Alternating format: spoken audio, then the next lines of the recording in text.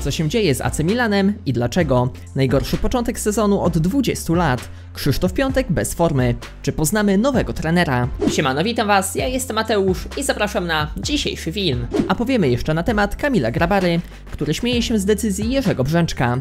Genialna akcja kibiców Olympic Lyon, sterolowali kibiców z Chin. A na sam koniec o wczorajszym hicie Premier League pomiędzy Manchesterem United a Arsenalem. Piłkę z poprzedniego filmu wygrywa ten komentarz. Napisz do mnie w celu odebrania nagrody. Pamiętajcie, że możecie ocenić ten film. Jeżeli to zrobicie, zobaczy go więcej osób, za co będę Wam mega wdzięczny. Szukamy graczy do naszego klubu Landrynki w grze Football Team, a gramy w pierwszej lidze, więc z tego tytułu mamy naprawdę wiele korzyści. Jeżeli macie coś około 110 overalla, a w szczególności jesteście obrońcami bądź pomocnikami, zapraszamy do nas, a w opisie tego filmu macie link do rejestracji. Zapraszam do oglądania. W ostatnim meczu West Hamu kontuzji uda doznał Łukasz Fabiański, przez co będzie musiał pauzować nawet kilka tygodni. Reprezentacja Polski już za nieco ponad tydzień zagra w eliminacjach do Euro 2020. 10 października zmierzą się z Łotwą, a 3 dni później z Macedonią Północną. Choć Fabiański miał być podstawowym bramkarzem reprezentacji na kolejne spotkania, tak kontuzja sprawiła, że jego miejsce zajmie Wojciech Szczęsny. Z kolei Kamil Grabara liczył właśnie na to, że to on zajmie miejsce w kadrze za Fabiańskiego, jednak Jerzy Brzęczek zdecydował inaczej. Selekcjoner postawił na Radosława Majeckiego, 19-latka z Legii. A tak na te powołanie zareagował Grabara. Wymowne i chyba każdy wie o co chodzi. Obecnie Grabara występuje w Huddersfield i choć słabo im idzie w Championship, to dalej uważam, że druga angielska liga wymaga więcej niż nasza ekstraklasa. Co więcej na Euro do lat 21 to Grabara wygrał rywalizację właśnie z Majeckim i to on był numerem 1 w bramce Polski.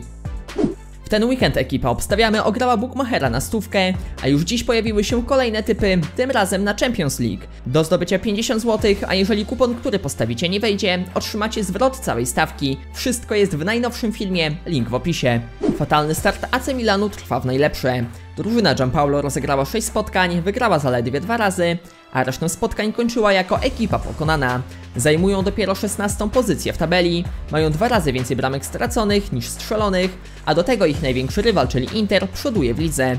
Oni jak na razie wygrali wszystkie swoje spotkania i z dorobkiem 18 punktów wyprzedzają nawet Juventus. I to chyba boli najbardziej.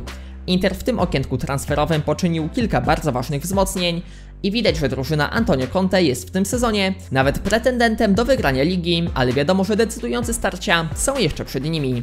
Wracając jednak do Milanu, to ostatni ligowy mecz z Fiorentiną przegrali 1 do 3. Gole w tym meczu strzelali Pulgar, Castroville oraz Frank Ribery. Z kolei honorowe trafienie dla Milanu zaliczył Rafael Liao. Jak poinformowała nas włoska prasa, zarząd Milanu spotkał się w sprawie przyszłości Marco Giampaolo. Nie jest pewne, czy w kolejnych meczach to właśnie on poprowadzi Milan. Choć na konferencji prasowej Paulo Maldini zaprzeczył, aby były prowadzone jakiekolwiek rozmowy nad zwolnieniem Giampaolo, tak podobno kolejny mecz będzie jego ostatnią szansą na zachowanie posady. Jeżeli dojdzie do zwolnienia obecnego szkoleniowca, jego miejsce mogą zająć dwaj inni trenerzy, nad którymi zastanawia się zarząd Milanu. Mowa tu o Rudi Garcii, który niegdyś trenował Olympique Marsylię. Andrii Szewczenko, czyli legenda Milanu, również jest brana pod uwagę. Tak po ostatnim meczu powiedział trener Gianpaolo. Nasi fani są przyzwyczajeni do czegoś innego. Słusznie wyrazili swoje rozczarowanie. Niewiele jest pozytywów. Zespół powinien przez swoje występy przyciągać fanów na mecze. Tego wieczoru nie zachęciliśmy ich do oglądania spotkań z naszym udziałem. Fani za to płacą, aby oglądać dobrą grę swojego zespołu. Fani oddają wszystko za te koszulki i barwy. Musimy przyciągać ich na nasze mecze. Naprawdę dobrze, że jest tego świadomy. Teraz tylko trzeba zacząć zmieniać grę AC Milanu. Obecnie bardzo często spotkania rozgrywane są o różnych porach, albo późnym, naprawdę późnym wieczorem, albo nawet w godzinach popołudniowych. Ostatni mecz Olympic Lyonu z Nantes, który swoją drogą gospodarze przegrali 1 do 0, rozgrywany był o godzinie 13.30. Często spotykamy się z opinią, że taka godzina nie jest dobra do gry w piłkę. Taka pora spotkania została wybrana ze względu na chińskich kibiców, aby mogli oni obejrzeć spotkanie. Różnica czasu między Francją a stolicą Chin, Pekinem, wynosi 6 godzin, co sprawia, że gdy we Francji była godzina 13.30, to na wschodzie Azji była godzina 19.30, co jest bardzo dobrą porą na oglądanie meczu.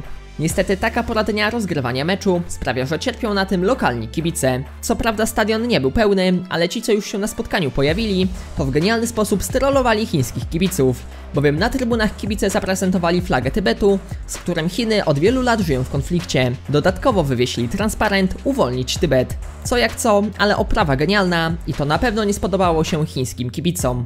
Hitem tej kolejki Premier League było starcie Manchester United z Arsenalem. Spotkanie odbyło się wczoraj o godzinie 21 i zakończyło się wynikiem remisowym po 1. Pierwsza połowa była wyrównana, z delikatną przewagą Manchester United. Więcej utrzymywali się przy piłce, ale dopiero w 30 minucie meczu Andreas Pereira oddał celne uderzenie. Przebiegł z piłką pół boiska, ale ostatecznie Leno obronił jego strzał. W samej końcówce pierwszej połowy gola zdobyły Czerwone Diabły. Scott McTominay pięknym uderzeniem trafił z dystansu. W drugą część gry lepiej wszedł Arsenal. Od razu chcieli odrobić straty, a to udało im się dopiero w 58 minucie meczu. Alex Twanzebe popełnił błąd, piłka trafiła pod nogi Yanga, a on przelobował bramkarza. Do końca tego meczu wynik już się nie zmienił, choć w samej końcówce cudownie uderzył Marcus Rashford z rzutu wolnego, ale Leno obronił jego strzał. Tak obecnie wygląda tabela Premier League. Na dziś to koniec, dzięki za oglądanie, pamiętajcie, że możecie ocenić ten film, będzie mi mega miło, do usłyszenia.